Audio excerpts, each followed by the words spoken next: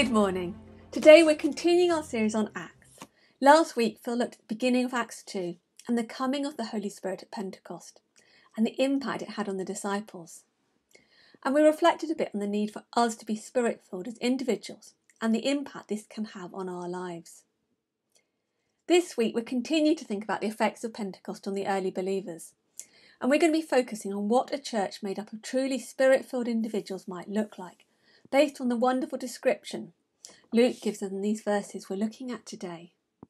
The disciples had received the Holy Spirit, and this transformed their lives and made the early church what it was. The question is can the same be said for us, for our lives, and for the life of our church? A.W. Tozer, an American pastor and theologian, once said, If the Holy Spirit was withdrawn from the church today, 95% of what we do would go on and no one would know the difference. If the Holy Spirit had been withdrawn from the New Testament church, 95% of what they did would stop and everybody would know the difference. The New Testament church may not have come into existence at all if the disciples had not waited for the Holy Spirit as Jesus had instructed them to do and if they'd not been willing to receive it and then go out and live and act in the power of the Spirit. Because before Pentecost and the coming of the Holy Spirit, the disciples were fearful and afraid, despite the fact that some of them had seen the risen Jesus multiple times. There's no mention of them going out sharing their faith. Yet immediately after the Holy Spirit came, they were emboldened to address the crowd, to share the good news of Jesus with them, and an amazing 3,000 people were baptized and added to their number that day. Peter and the other disciples were empowered by the Holy Spirit to witness to others about their faith, and as a result, the church grew. How much of what we do is reliant on the Holy Spirit? And how much do we just do in our own strength? What difference does the Spirit make to our lives and the life of our church here in Skipton? Before reflecting any further, I'd like to share a short story with you by the theologian Soren Kierkegaard about Duckland. You may have heard this before, but I think it makes a really good point. It was Sunday morning in Duckland, and all the ducks dutifully came to church, waddling through the doors and down the aisle into their pews, where they comfortably squatted. When all were well settled and the hymns were sung, the duck minister waddled to his pulpit, opened the duck Bible, and read Ducks, you have wings, and with wings you can fly like eagles. You can soar into the sky. Use your wings. It was a marvellous, elevating duck reading from the Duck Bible. And thus all the ducks quacked their heartiest, their assent with a hearty amen. And then they plopped down from their pews and waddled home. Did we go away from last week's service longing for more of the Spirit in our lives? seeking the freshness and fire which only the Spirit can offer us? Did we spend time this week waiting on His presence and seeking more of His power in our lives? Or did we go away and, despite perhaps having the best intentions, forget all about it, like the ducks in this story? In Acts 2:42, Luke describes how the early believers devoted themselves to the apostles' teaching and to fellowship, to the breaking of bread, and to prayer. They didn't just do those things out of some sense of duty, or when they remembered to do so. They devoted themselves to them. These early believers were all in. This wasn't something they did half heartedly or on the weekends they were free. They were absolutely devoted to it. Synonyms for devoted include committed, faithful, loyal, staunch, steady, constant, dedicated, unfaltering, unswerving, steadfast, unshakable, unwavering. I wonder how many of those adjectives we can apply to our own faith and to our own approach, our own attitude, to the Bible, to fellowship, to sharing communion together, to our prayer life, and to our worship. We're going to look at some of these different aspects shortly. But I think the key thing here is that the believers in the early church devoted themselves to all these things because of the impact of the Holy Spirit on their lives. They weren't engaging with them because they felt they should and felt guilty if they didn't.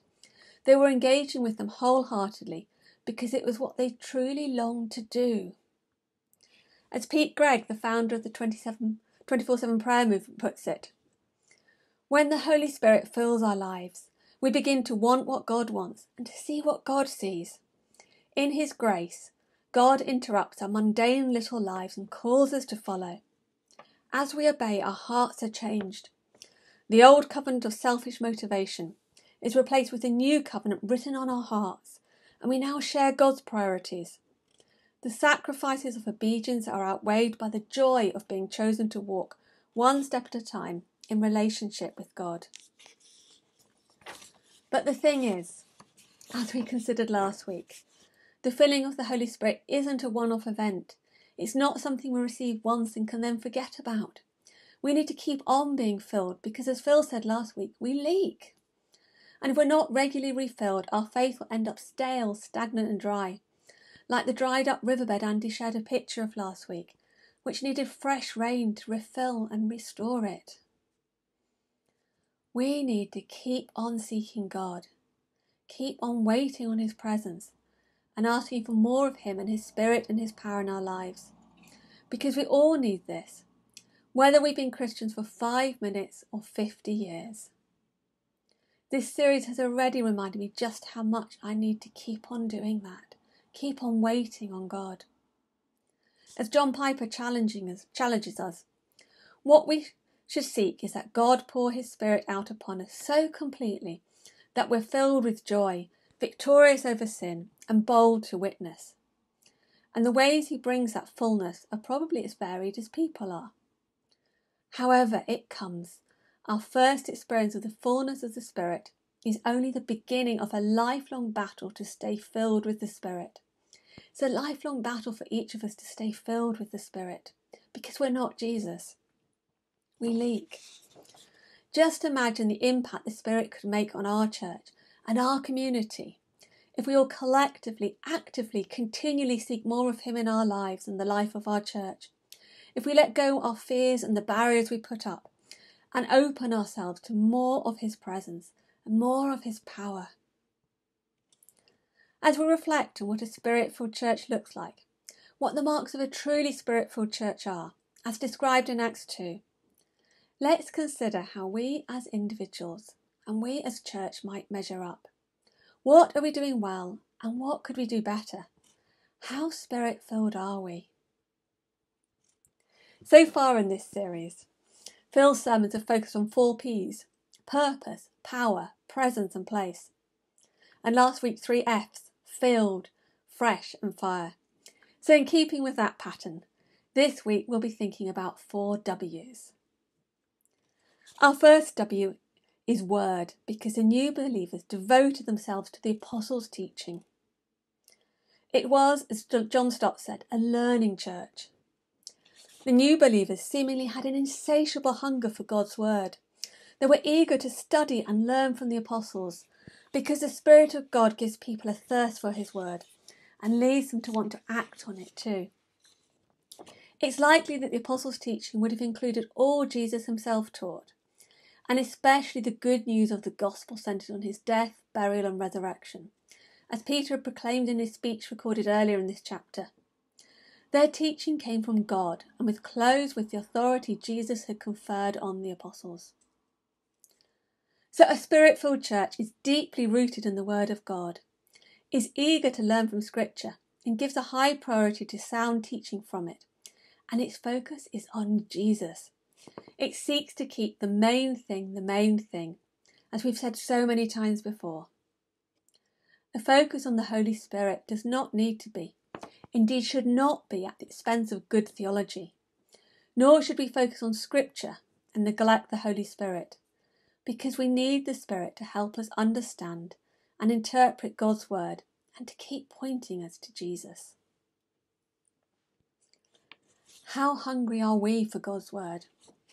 We're in an incredibly fortunate position in this country to have such easy access to the Bible in our own language, in multiple translations even, and the freedom to read it, discuss it, and hear teaching from it without threat of persecution.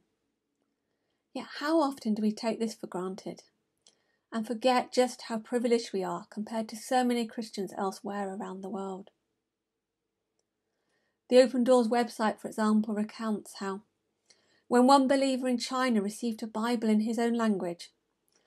His eyes brightened as if he'd spotted a treasure. He held it close to his chest and said, Thank you so much, brother. I've been dreaming about having a Bible for so long. Our second W is with, because the new believers devoted themselves to fellowship, to koinonia, to life together. Or as the Passion Translation puts it, the hearts were mutually linked to one another. And in verse 44, Luke goes on to say, all the believers were together and had everything in common. There was a great sense of unity among these early believers. Their spirit filled fellowship with Christ and with one another completely changed their priorities.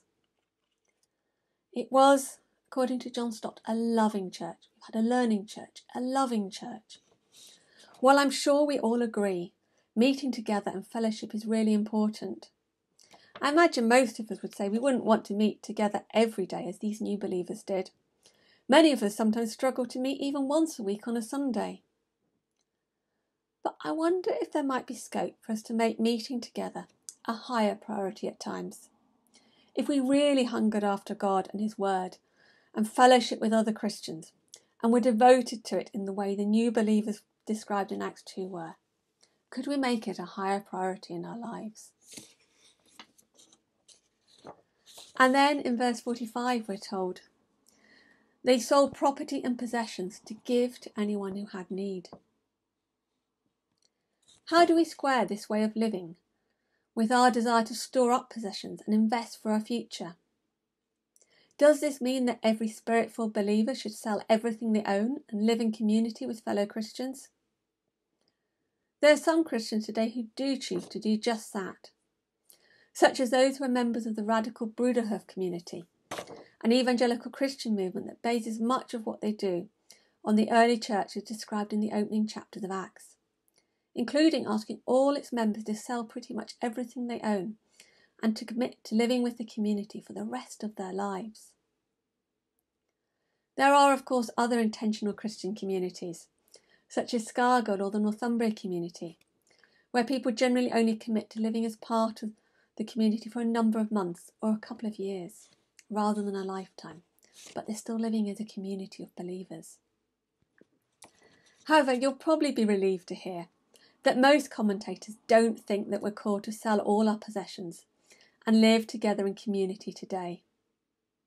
Neither Jesus nor his apostles ever forbade private property ownership to all Christians. And even in the early church in Jerusalem, the sharing of property and possessions was voluntary, and it arose from the deep sense of fellowship which they all shared. And clearly, many still had homes, as they broke bread in their homes as well as in the temple courts.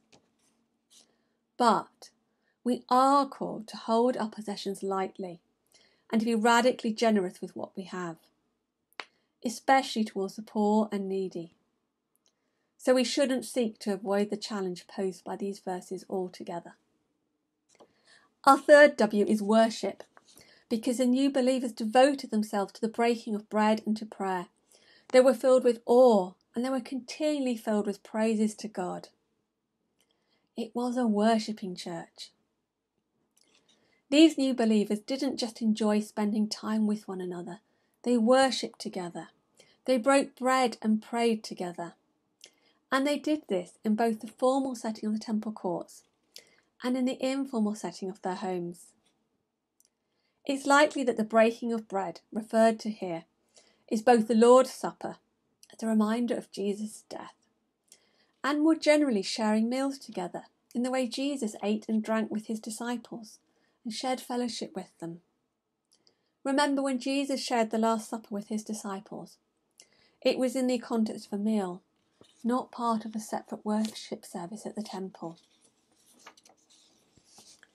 It's interesting to reflect that while we as a church consider that balance of formal and informal worship, we reflect that in our Sunday morning gatherings here at church and our connect groups which meet up in our homes during the week. I suspect most of us don't regularly meet up for shared meals. And even if we do do that, how often do we conclude communion as part of those shared meal times? Is that something we should try doing more of? The new believers also devoted themselves to prayer. As Phil reminded us a couple of weeks ago, if we want to experience the power of God at work in our lives and the lives of those around us and in our community, we need to spend time in God's presence in prayer. We need to get down on our knees before Him and acknowledge our total dependence on Him. The Gospels record how Jesus often spent time in prayer both alone and with his disciples. And the believers in the early church in Acts followed Jesus' example in this, devoting themselves to prayer. It wasn't just something they did when they had time to, or when they faced a moment of crisis. They devoted themselves to it because they realized just how important it was. Yet, how easy do most of us find it to let prayer slip down our list of priorities? What things might we need to sacrifice in order to make more time to pray? To spend more time being in God's presence, waiting expectantly on Him and His Holy Spirit. The other point to note about the believers' worship is that they were exuberant and joyful as they praised God, but they were also filled with awe, with awe at the many wonders and signs done through the apostles. They recognized that a holy and powerful God was in their midst through the in their midst through the apostles and responded with reverence but also with great joy. How reverent and joyful is our worship. And our final W is witness, because the result of living a spirit filled life and being devoted to the apostles' teaching and to fellowship, to the breaking of bread and to prayer, was that they enjoyed the favour of all the people and were attractive to others. They were attractive to others, and as such, as John Stott says, it was an evangelistic church. And so, as it says in verse 47, the Lord added to their number daily those who were being saved. The passage doesn't tell us that they were actively seeking to evangelize others, though. They weren't knocking on doors or talking about Jesus to those who didn't want to hear but rather it seems that simply living spirit filled lives focused on Jesus and his teaching, meeting and sharing generously with one another in love, and spending time in prayer and worship was enough to make them so attractive to others that more joined them daily. Their devoted lifestyle made them effective witnesses. And it was the Lord who added to the number, a reminder that all we can do is witness to others we can't make people believe in Jesus. Only God can do that.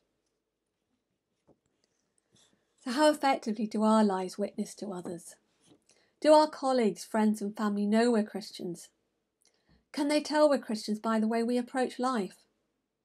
And if they do, can they see it makes a positive impact on our lives? How attractive is our church to non Christians? How will the way we welcome people to the house witness to others? Will the love and fellowship of Jesus be evident to all who walk through its doors? Now, the observant among you will of course notice that these four W's are four of the five W's which we seek to base our Connect groups on, which in turn are linked to our mission statement to meet God through word and worship, to meet friends through fellowship with one another and to make a difference by living lives which witness to others. One study describes this passage as a precious window into the world of the early church and goes on to say the ongoing result of the Holy Spirit's empowering with joy, miracles, boldness and fruitfulness and witness, unity, sharing, care for the poor, and worship. So, to return to the question I asked earlier, how do you think our church compares? How would you describe our church? How might an outsider describe our church? Amen.